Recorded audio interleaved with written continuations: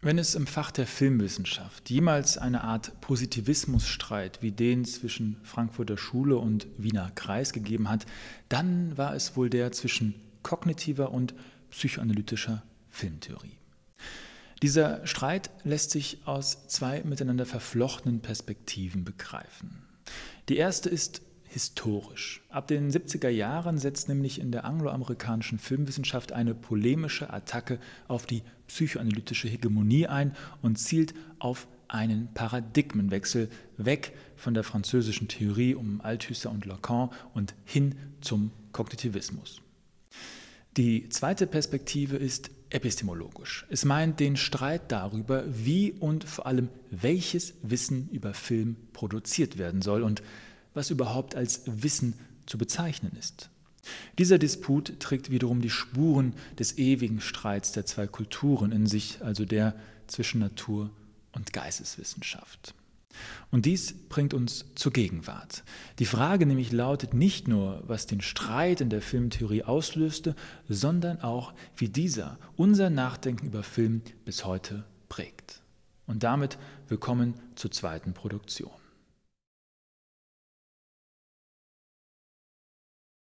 Wie es sich für gute Widersacher gehört, teilen Streithähne gerne einmal eine gemeinsame Ausgangslage, an der sich schlussendlich die Geister scheiden. Dies gilt für die Kontroverse zwischen Frankfurter Schule und Wiener Kreis. Dies hat Hans-Joachim Dahmes in seinem Buch Positivismusstreit nachgezeichnet. Dies gilt aber auch für die Gräben zwischen kognitivistischer und psychoanalytischer Filmtheorie.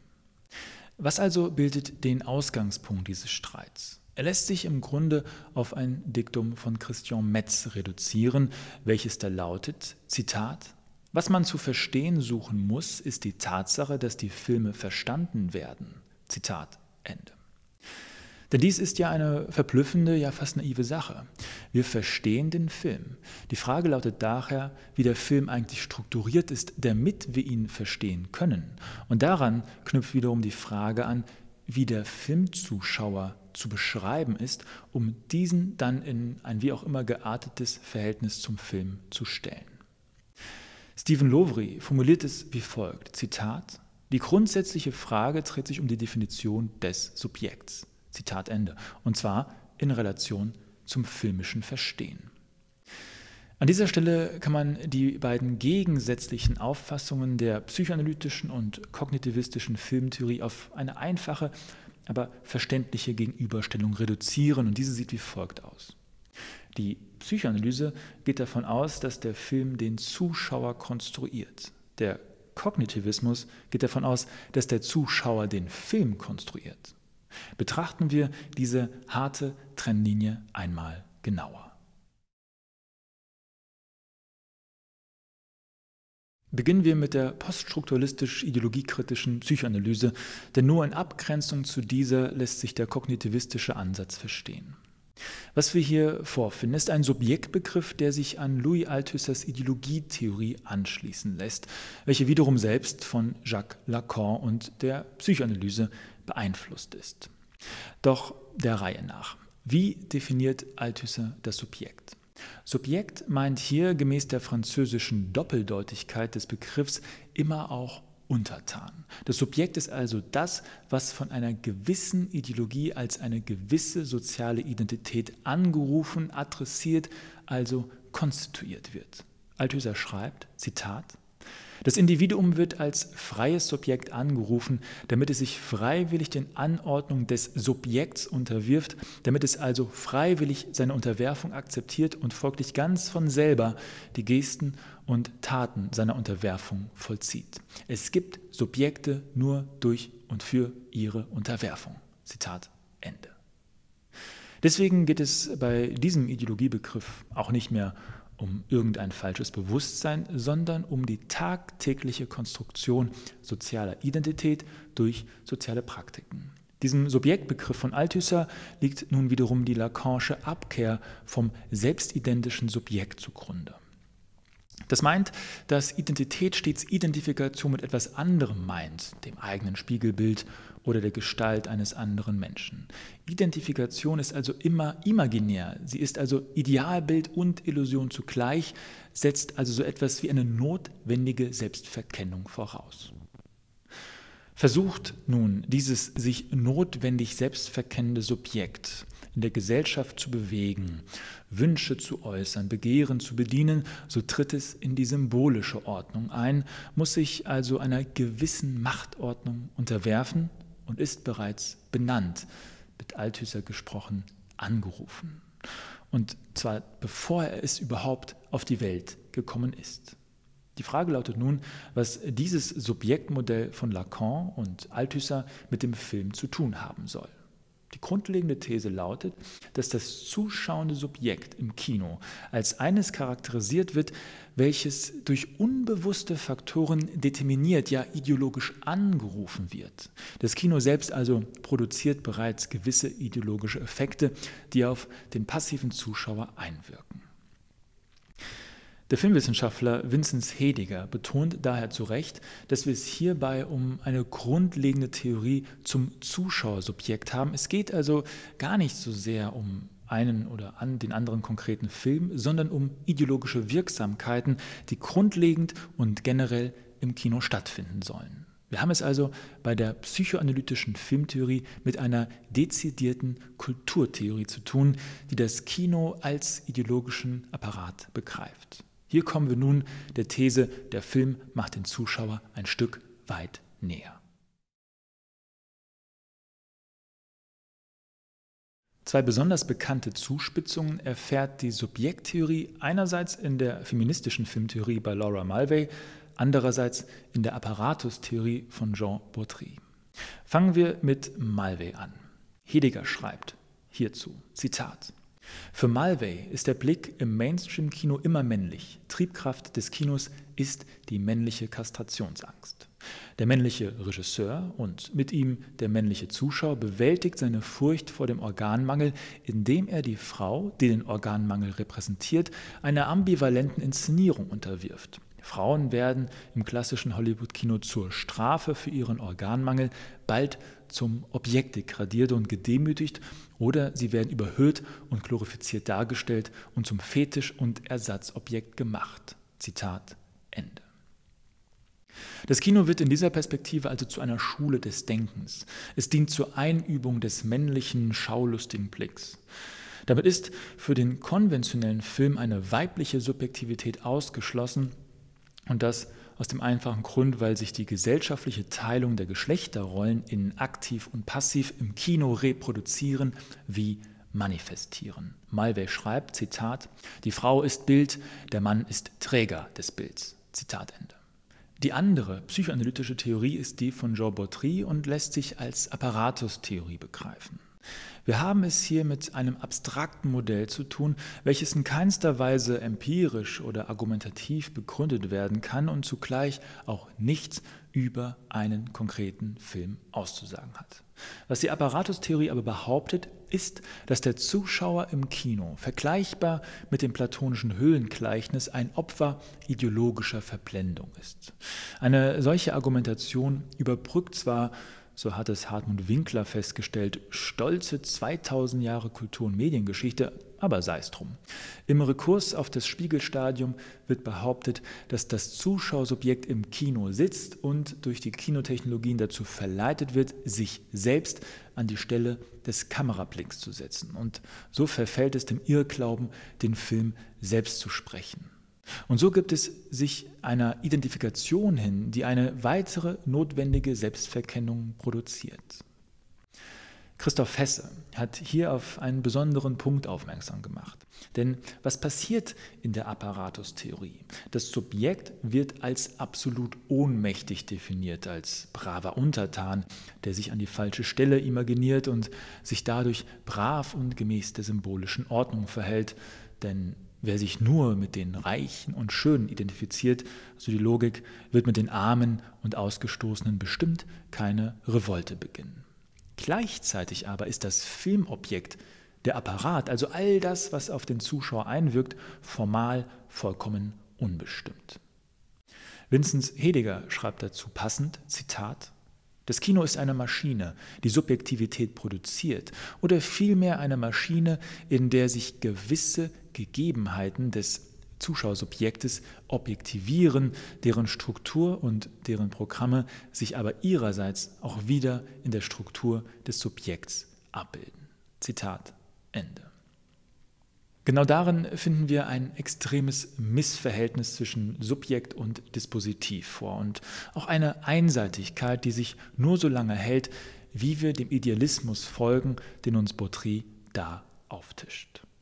Die kognitivistische Filmtheorie bricht nun vollständig mit diesem Paradigma und das möglichst polemisch. Noel Carroll beispielsweise wirft der psychoanalytischen Theorie die Produktion von Unsinnsprosa vor, während David Bordwell die Beliebtheit des subjekttheoretischen Paradigma mit dem suffisanten Hinweis erklärt, dass diese Texte im Unterschied zu Adorno oder Habermas nun einmal entspannt und benutzerfreundlich wären, wir es also mit angenehmer Strandlektüre zu tun hätten.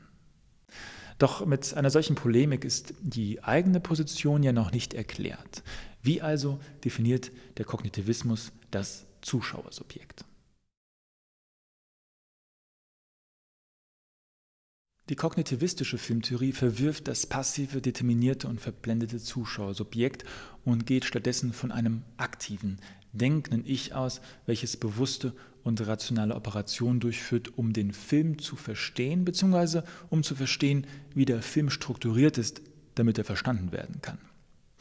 Der Zuschauer konstruiert also aus dem Rohmaterial des Plots eine Geschichte, indem er Hypothesen aufstellt, Informationen sammelt und überprüft, Fährten nachgeht und manchmal auch erkennen muss, dass er belogen wurde. Aus dem ehemaligen untertänigen geknechteten Subjekt geht nun ein freiheitlicher, autonomer, aber ebenso unbestimmter Zuschauer hervor. Was nämlich ist dieser Zuschauer? Hier kommt es zu einer durchaus ironischen Umkehrung der psychoanalytischen Subjekttheorie. Während diese nämlich das Kino als Maschine auffasst, so ist es im Kognitivismus nun der Mensch selbst. Gemäß der Computertheorie des Geistes ist unser Gehirn selbst so etwas wie ein Computer, der gewisse Rechenoptionen und Rechenaufgaben löst. Man könnte also sagen, dass das irrationale Begehren in der Psychoanalyse nun durch das kühle Bedürfnis nach Sinnproduktion und Verstehen ausgetauscht wurde. Das heißt, dass der Film in erster Linie Informationsträger ist und der Zuschauer, also wir, wiederum diejenige Instanz, die die übertragenen Informationen zu dekodieren bzw. zu verarbeiten haben. Dazu greift der Zuschauer wiederum auf gewisse Hinweise zurück, die er gemäß seines Vorwissens abgleichen und verstehen kann.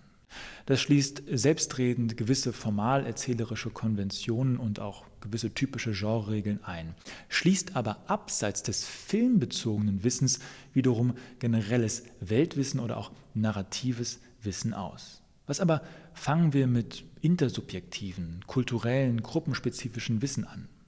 Diese Frage bleibt unbeantwortet und Stephen Lovry stellt hierzu eine interessante These auf. Zitat der kognitive Ansatz kann vielleicht erklären, wie ich einen Film verstehe, nicht aber, warum ich ihn überhaupt anschaue. Zitat Ende.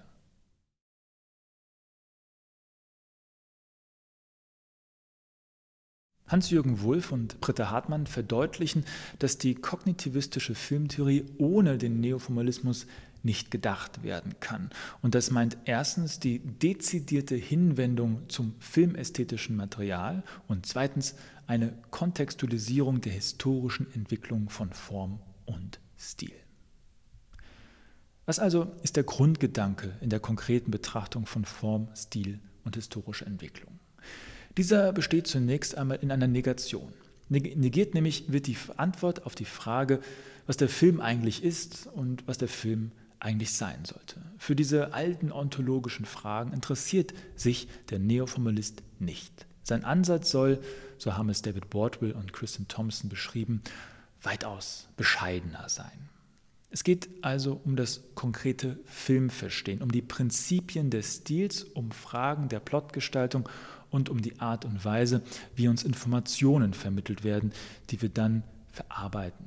Dafür aber braucht es konkrete Begriffe und Hartmann und Wulff schreiben zu Recht, Zitat, dass derzeit wohl kaum ein anderes filmwissenschaftliches Projekt solche Kohärenz und Konsistenz aufweist wie das neoformalistisch-kognitivistische. Zitat Ende. Dazu lösen Bordwell und Thompson zunächst einmal die traditionelle Gegenüberstellung von Form und Inhalt auf. Inhalt ist nun nichts anderes als die Manifestation der formalen Gestaltung eines Werks. Oder anders ausgedrückt, der Neoformalismus erhebt den Formbegriff zu einer totalen Kategorie. Jens Bonnemann schreibt dazu, Zitat, mit der Form ist vielmehr alles von der Zuschauerin in der Filmrezeption wahrgenommene gemeint, von dem aus sie die Erzählung sowie die räumliche und zeitliche Ordnung des Films erfasst. Zitat Ende. Diese begriffliche Totalisierung der Form ermöglicht es, den Film als eine spezifische Anordnung unterschiedlicher Cues, also Hinweise zu verstehen, die wir als rationale, denkende, aktive und verstehen wollende Subjekte im Prozess der Dauer des Films sammeln, ordnen, auch mal umstellen müssen, so oder so zu einem Ganzen formen. Nun könnte ich weitaus ausführlicher auf die spezifische Wirkungsweise, die Differenz von Story und Plot eingehen. Dies aber habe ich bereits in meinem ersten Filmtheorie-Video getan, welches ich in der Videobeschreibung noch einmal verlinkt habe. Stattdessen soll es mir noch einmal um den Zuschauer gehen. Denn dieser ist nicht nur rational und aktiv, sondern in erster Linie eine hypothetische Entität, ein Idealfall, ein impliziter, ahistorischer, klassen-, haut- und geschlechtsloser Zuschauer. Entscheidend ist hier eines. Dem kognitivistischen Neoformalismus geht es um die Frage nach der Rezeption des Films und nicht um seine Interpretation oder kulturelle, gesellschaftliche oder politische Bedeutung. Denn dies fällt ja Bordwell und Co. gemäß in den Bereich der Unsinnsprosa. Und genau diese Ablehnung der Interpretation führt uns zur Einleitung zurück. Welches Wissen wollen wir eigentlich in der Beschäftigung mit Film produzieren? Was mittlerweile offenkundig sein sollte, ist, dass der Kognitivismus sich im Gegensatz zum hermeneutischen Modell der Psychoanalyse stärker an einer naturwissenschaftlich ausgerichteten Reflexion orientiert. Überspitzt formuliert heißt das nur das Messbare, also das Sichtbare, das Konkrete, das empirisch Beweisbare, das, was der Fall ist, ist in der Analyse zulässig. Alles andere fällt unter den weiten Bereich der Metaphysik. Doch verengt der kognitivistische Neoformalismus damit nicht das Feld des Vernehmbaren. Wie verhält es sich zum Beispiel mit der körperlichen Reaktion auf den Film? Was ist mit den Affekten, die wir haben, wenn wir einen Film folgen und die eben nicht einfach in unserem Kopf stattfinden? All das spielt ja in dieser kühlen, präzisen Analyse kaum bis gar keine Rolle. Die Frage also lautet, pendelt der Neoformalismus mit seiner Kritik an der Psychoanalyse nicht von einem Extrem ins andere? Ist nicht das Gegenstück zu einer gegenstandslosen Theorie eine begriffslose Analyse, also eine, die nicht fragt, was die kulturellen, sozialen und politischen Implikationen des Kinos sein könnten? Oder nochmal anders gesagt, kann eine positivistische Methode einen Gegenstand, der eben keine Natur, sondern eine Mensch- und Kultursache ist, tatsächlich so behandeln, als hätten wir es mit empirischer Gegebenheit zu tun? Oder aber ist die Kunst, denken wir nur einmal an den alten Adorno, nicht immer auch das Inkommensurable, das Undenkbare, das andere, das Dialektische, das Reale? An dieser Kritik kann man etwas Bemerkenswertes feststellen. Denn es ist richtig, ein grundlegender Verdienst der neoformalistischen Methode besteht darin, den Film als Kunst und damit als eigenständige und von unserer Alltagssprache verschiedene Ausdrucksform emporzuheben. Etwas, was in der Psychoanalyse eben kaum der Fall ist, denn hier geht es ja nur um dispositive Ideologien und Spiegelstadien. Doch kann es sein, dass der Kunstbegriff von Bordwell und Co. zu kurz greift und das meint, dass er schlussendlich reduktionistisch ist, weil er abseits von historisch zu beobachtenden Normverstößen die phänomenologische, politische oder philosophische Blickrichtung auf den Film ausschließen will? Hartmann und Wulff liegen vollkommen richtig, wenn sie schreiben, Zitat, das Kino ist eine kommunikative, ästhetische und gesellschaftliche Tatsache. Zitat Ende. Es stimmt also, der konkrete Film muss gemäß seiner spezifischen Formverfahren analysiert werden. Er muss aber ebenso als kulturelles, soziales wie politisches Artefakt in einen größeren Rahmen eingeordnet werden können, um auf diese Weise etwas über Gesellschaft, Kultur, Politik usw. So zu erfahren. Und hier scheint die positivistische Methode des Neoformalismus zu eng getaktet zu sein, während die ideologiekritische Psychoanalyse viel zu offen und zu unspezifisch ist. Es braucht also so etwas wie eine Reaktualisierung der symptomatischen Bedeutung bei gleichzeitiger Verteidigung des Films als eigenständige Kunst. Hermeneutik ja, aber nicht als die Suche nach einem letzten Sinn. Dazu ein abschließender Gedanke.